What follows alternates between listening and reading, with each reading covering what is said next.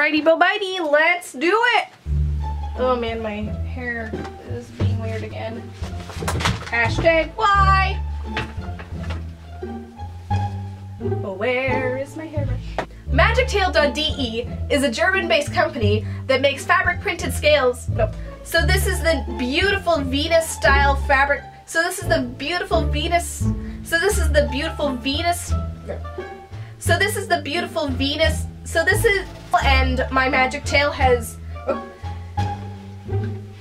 and oh my gosh, it is so fun using the Mahina monofin inside this tail skin. I highly recommend it. Um, so basically the story with Magic Tail is that, Siri, what is the German word for please? Thank you guys so, so much. Oh, come on, focus on me, focus on me. Look at this, this is what it looks like with the Mahina.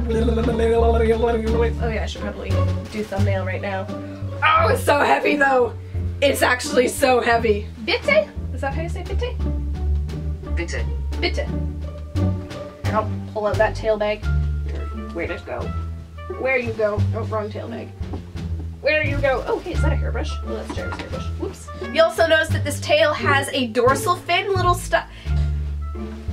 One moment. Where is that tail bag?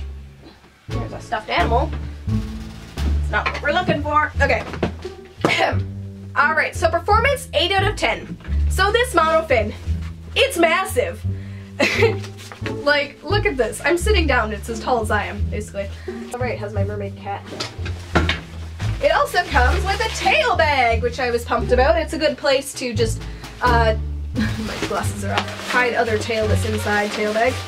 It looks awesome. It feels awesome. It's fun to swim in. It's easy to use. It's really easy to take off in the water. You can use, if you're wondering, um, is it Mahina's not really supposed to be used in tailskins?